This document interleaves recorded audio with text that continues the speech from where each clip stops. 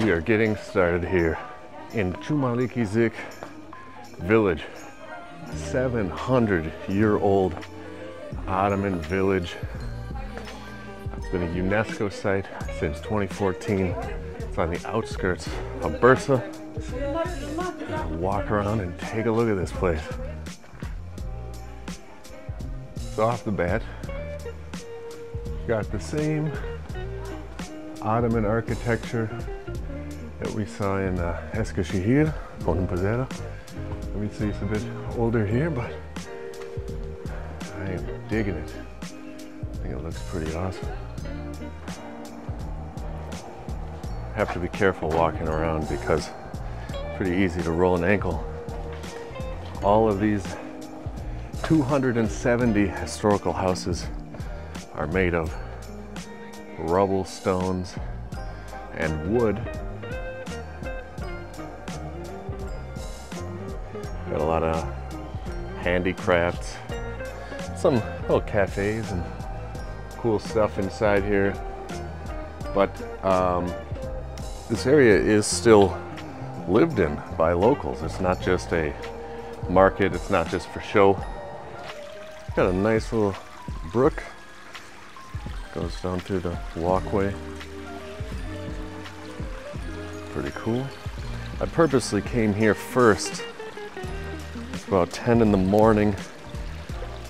I kind of wanted to see it before it got overrun with tour groups. You can see this, these stores just kind of opening up, pulling the tarps off. So this little stream goes all the way up through the houses here.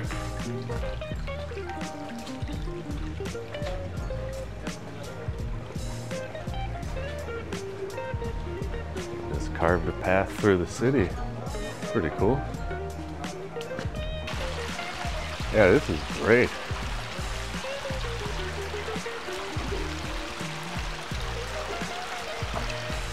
Stream's picking up. So we go.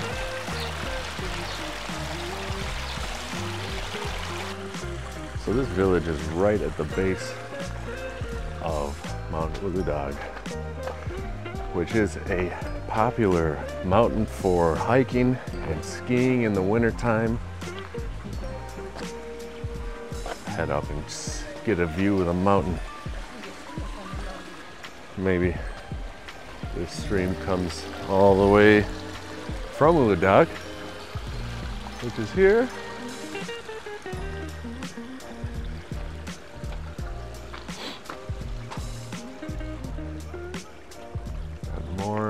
Traditional houses, very beautiful, vibrant colors.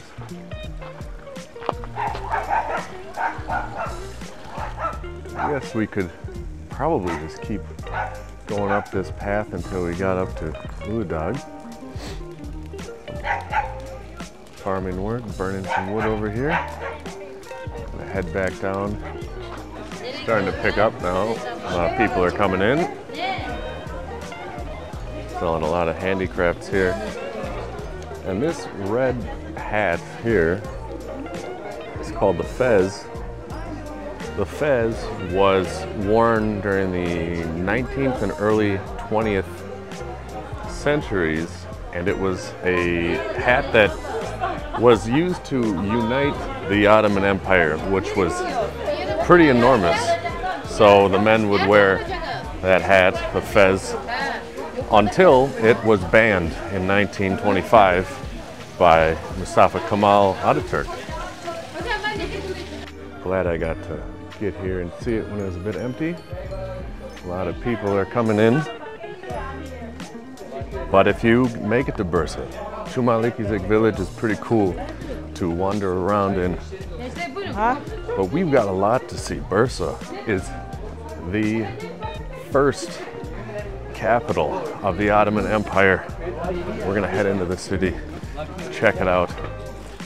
If you have not yet, please subscribe to the channel, give this video a like, and stay tuned. We're heading into Bursa. Hey guys, what is going on location out here in Bursa, Turkey, and today we are looking at the first capital of the Ottoman Empire.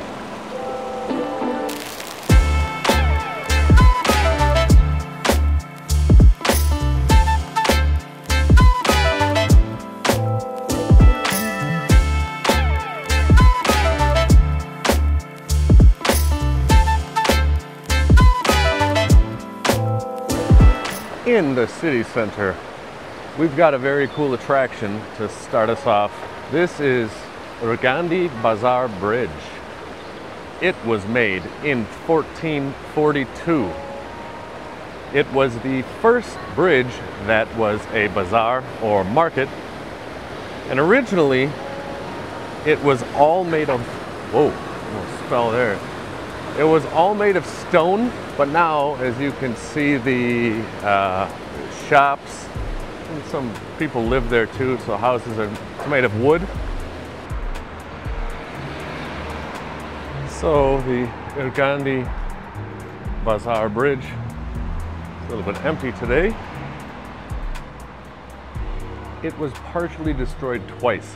Once in 1855 when there was an earthquake and also during the Turkish War of Independence when the Greeks were retreating, they bombed the bridge. It was fully restored in 2004. So, pretty nice place to hang out, walk across.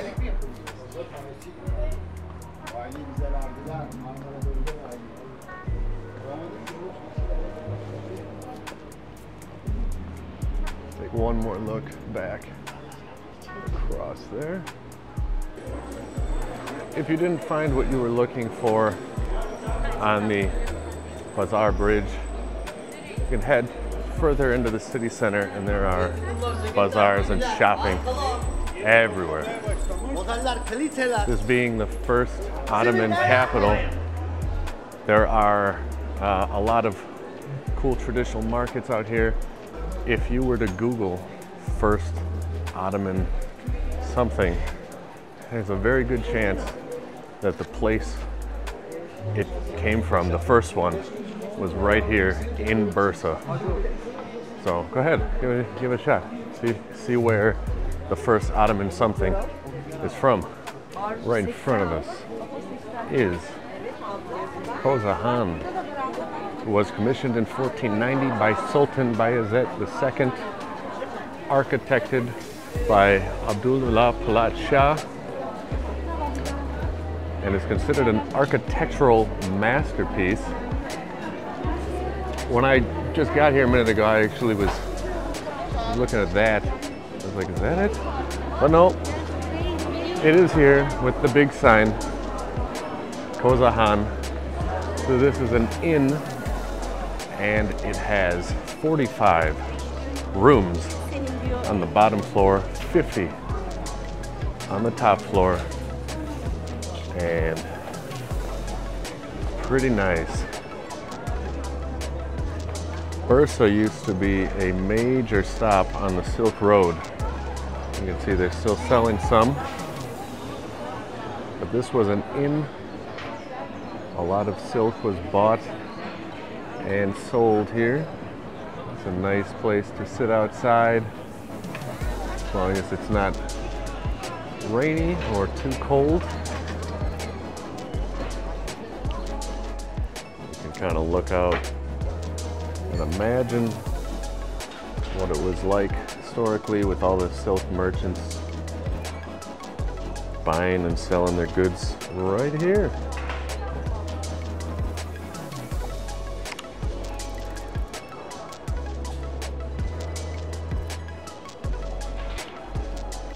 right across the street from us is Ulu Cami, or Ulu Mosque, the Grand Mosque of Bursa. This is one of Islam's most prominent landmarks, obviously behind the great mosque of Mecca. But from the ground level, it's hard to see. There are 20 domes on the top and that is because the uh, fourth Sultan of the Ottoman Empire, uh, Sultan Bayezid I was in a battle, the Battle of Nicopolis, which was in northern Bulgaria. This was from 1396 to 1399, and he promised that if he was victorious, he would come back here and build a mosque with 20 domes on top. So here it is. I am not sure if we can get in there. I would like to get in there. As you guys might remember from the Eskişehir uh, episode, I had some trouble filming inside of a mosque, but give it a shot. We're gonna see what we can do here. All right, here we are. You can see on the plaque there, 1399, which was the year that the Battle of Nicopolis ended. And that was a major battle. That was uh, the Ottomans against the Kingdom of Hungary, the Kingdom of France, a lot of the Christian Empire. And that allowed, that victory gave the Ottomans control in that region, which is now Bulgaria. We are inside the Grand Mosque of Bursa. Pretty big. The architect was Ali Negash. It's got some very cool calligraphy from the 19th century.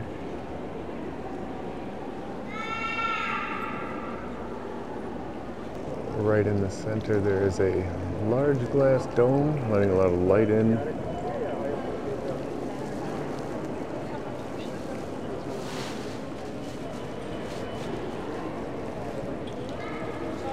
So obviously now it's not the prayer time, so I can come in and film this. There were signs in front saying that uh, you know, turn off your phones, no photos and videos during prayer. So I did get confirmation from security guy that I can shoot this, whether the footage works or not. We'll find out. Got the prayer area there. At least from the inside you can see the, all of the 20 domes.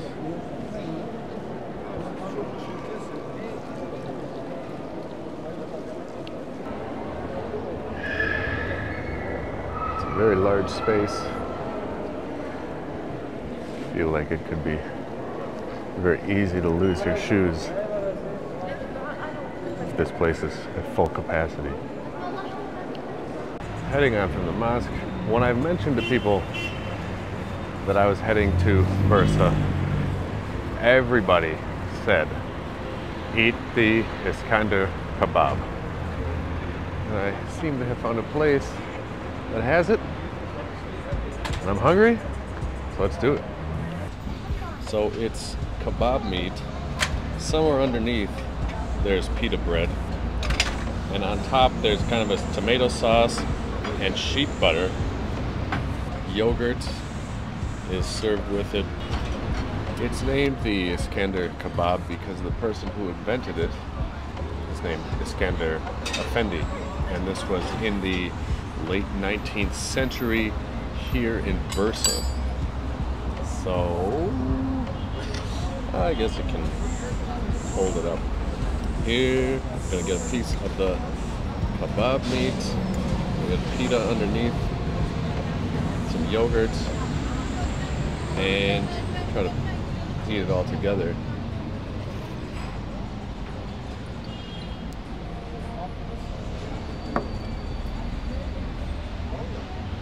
Pretty interesting because the pita bread, the tomato sauce,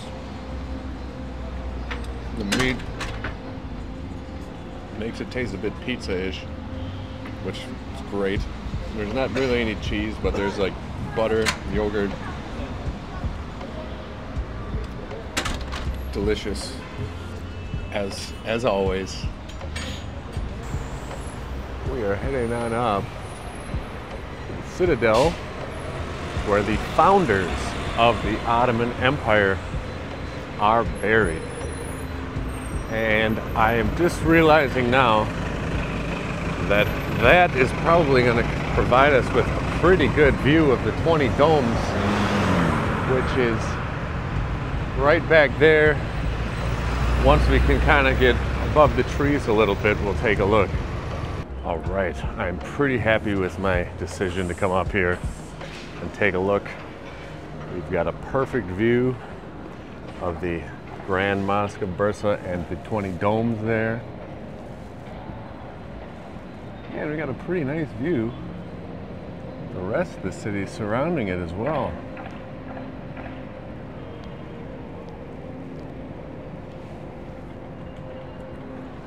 We are here outside of Osman Ghazi and Orhan Ghazi Tubalida, which are the tombs of the first two sultans of the Ottoman Empire. This is Osman I, Sultan Osman I, and his son, Sultan Orhan.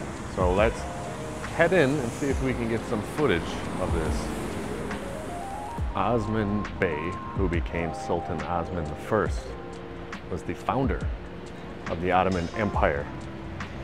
And he laid siege to Bursa many times trying to take the city. And in one legend, it was said that he had died and wanted to be buried in the city. So 40 people brought Osman in a coffin into the city, but he actually was among the 40 people and the coffin was full of weapons. So it was kind of a trick to start a siege. But it was not until April 6th, 1326, that Osman I's son, the Sultan Orhan, took the city of Bursa. And they are both buried here. This is the tomb of Sultan Osman I. Got Ottoman style guards outside here. Looks like video's okay.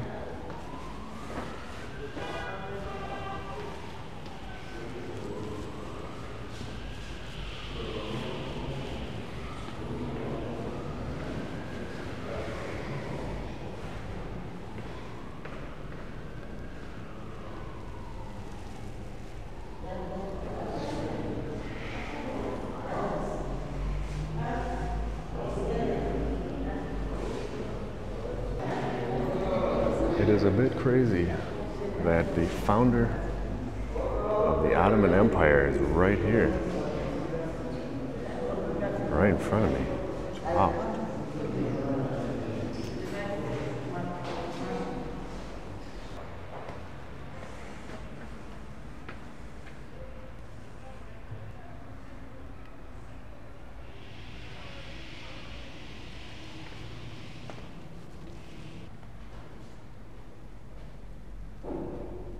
So this is where Sultan Orhan is buried. You can see the royal turban of the Sultan and some other hats, probably from the higher ranking officials, also buried with him.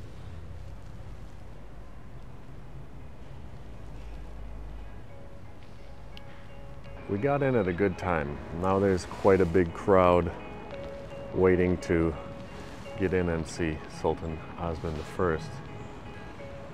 And as you'd expect, the sultans are buried up here. And there's a spectacular view of the city. As you know, I love to check it out.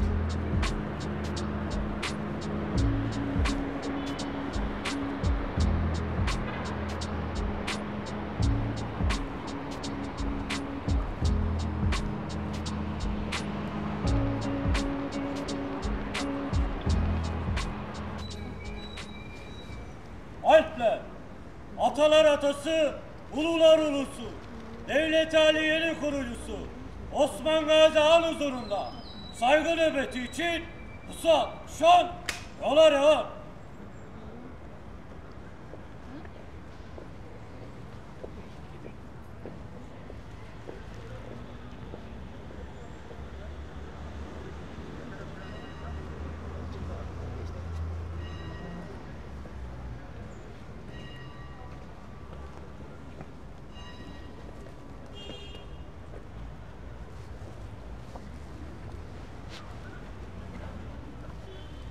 Yeryüzünü döşek, atını kanat bile.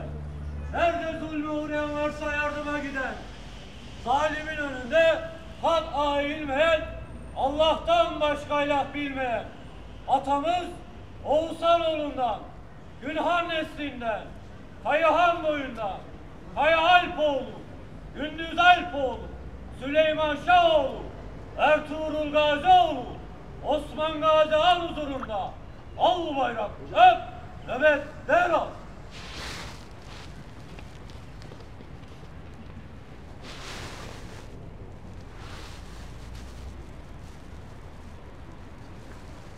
Üste gök çökmedikçe, altta yer delinmedikçe, canımdan aziz bildiğim bu al bayrak, sendedir karındaşım.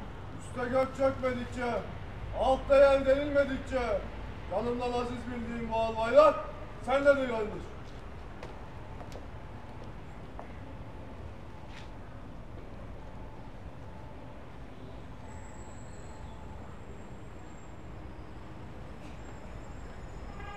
Anamdan, atamdan, yardan ve evlattan kıymetli bildiğim al bayrak.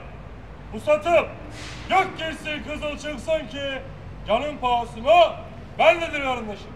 Anamdan, atamdan, yardan ve evlattan kıymetli bildiğim al bayrak. Pusatım gök girsin, kızıl çıksın ki canım pahasına bendedir karındaşım. Ol deyince olduran, göğüslerimizi iman nuruyla dolduran, Yüce Allah'ın 99 adıyla Allah'a, Kur'an'a, vatana, bayrağın olsun. Devletimiz sura üflenene dek daim olsun. Nöbetiniz kutlu ve şerefli ola. Amin. Alple.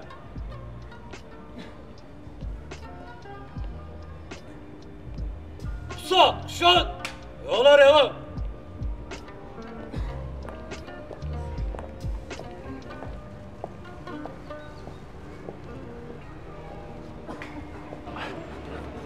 I was on my way out and then I just heard something and realized why everybody had been gathering here. Wow, that was great. So happy I caught that. That was that was really cool. Well, Bursa is a pretty awesome city. With a lot to see, a lot of history, and I really had a good time here. But you know me, I got to get on to the next place to show you guys. So please give this video a like if you made it this far. Please subscribe if you have not. As always, there's a lot more on the way. We'll see you guys in the next episode.